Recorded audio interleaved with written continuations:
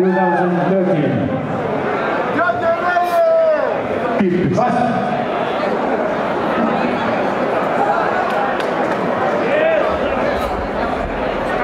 This next song used to be punk.